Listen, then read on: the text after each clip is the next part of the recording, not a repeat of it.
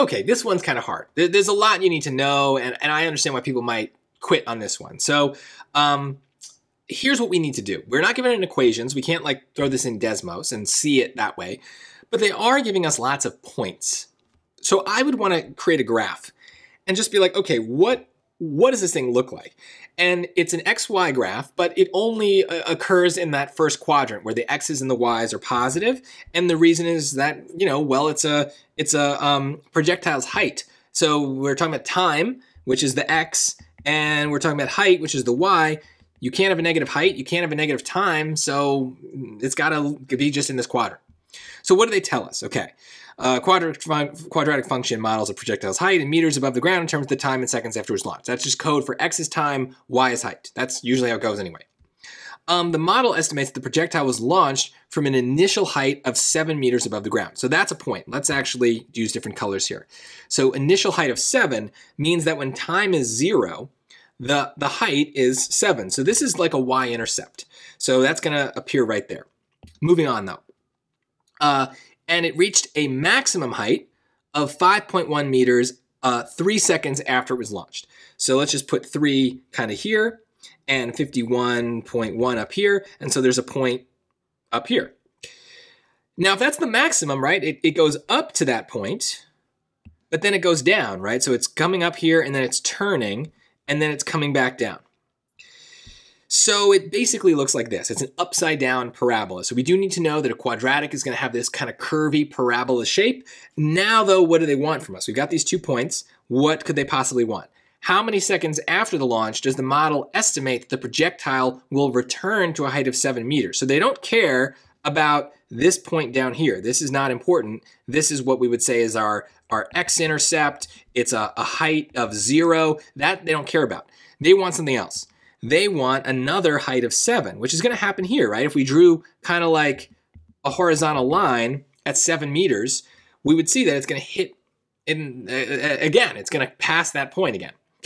Um, the the reason you might get stuck is there's one more fact that we need to know. And it's that parabolas are symmetrical about their maximums and minimums. So basically, if I drew another kind of line here, We'll use the highlighter. The left side of this parabola, the left side of this highlighted line, and the right side are mirror images of each other. And I get why that's kind of confusing, right? Because like I said, we're in the first quadrant only. So we don't have this kind of other end where it goes below seven because the, the graph doesn't go there. But in theory, it still does. But I don't care about that. I want to know what's going on when we go from seven to three. Or let me say it again when we go from the starting point to the high point, the maximum. Because whatever happens in that time, the same amount of time is going to pass and I'm going to get back to seven. So it's, it's symmetrical. So what happened? Three seconds went by to go from the launch to the maximum. So if we want to get back to seven, we need three more seconds to go by because it's symmetrical. Three seconds on the left, three seconds on the right. Either way, we're at seven. So that means, okay, well, if it took us three seconds to the middle, another three seconds back to seven is a total of six seconds. So choice B is the answer. It's tricky. Hardest question, right? It's the last one in the section. We should expect it to be a little harder than most of the others. Um, but I, I, do think maybe we could get this if we just took a chance and graphed these points and kind of connected the dots. Uh, we might be able to take a smart guess. Um, but, uh, you know, remember, the, the main rule that we're following here is that parabolas are symmetrical, right? And then this is kind of where it gets a little mathy, about their max or min.